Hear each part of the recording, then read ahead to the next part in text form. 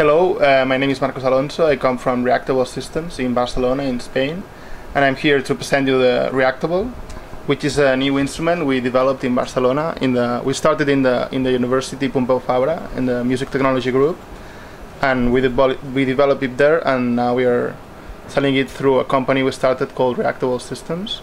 And it's a it's a new kind of instrument for playing uh, live music, electronic live music, and you have um, many different objects.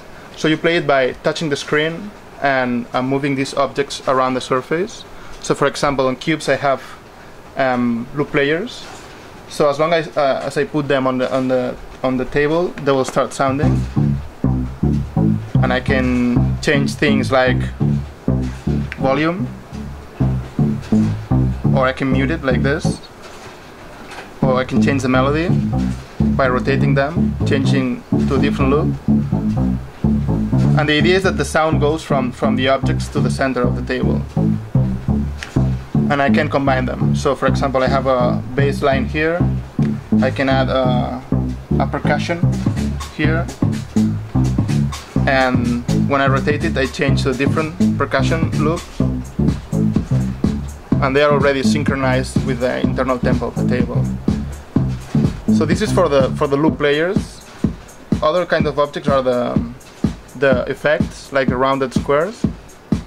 So if I want to affect the sound, I just put it next to the object, and I can add a, an echo, for example, or a filter.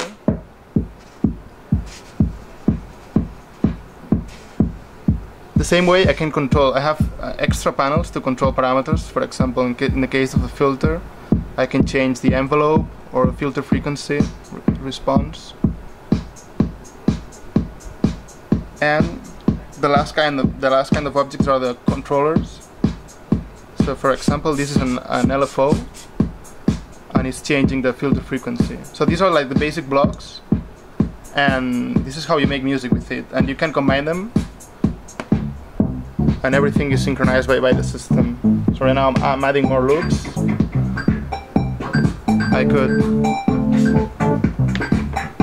add uh, an effect here, for example.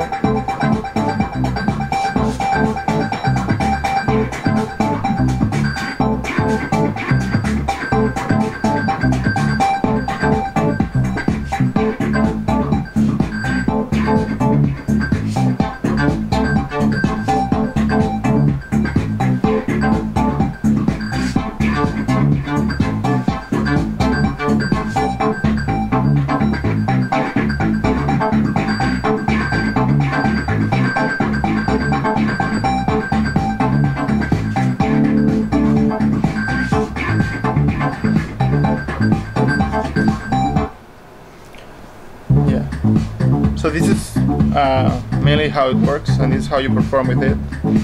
And we have a version as well for for the iphone and the ipad that it's doing very well and which is but it's not the same. So it's basically it's the same concepts but you you don't have the physical objects so you play by touching the screen so the as I said we developed it in the University of Pompeu Fabra in Barcelona and we made uh, we had to develop the technology because there was not at the at the moment uh, there was no technology capable of doing this. So detecting objects and fingertips on, on a screen. So basically the main idea is that there's a video projector inside that creates the images and a video camera that tracks the, the object symbols when they are on the surface and, and your fingertips when you touch the surface. So it's a very special surface and this is how it works. So the camera tracks the position of the object, sends it to a computer, the computer creates the music and the, and the graphics and it's projected again. And we think it's a very nice setup for, for live music because the, there's there are no shadows. When you play some some systems have projectors on top and with this one there are no shadows.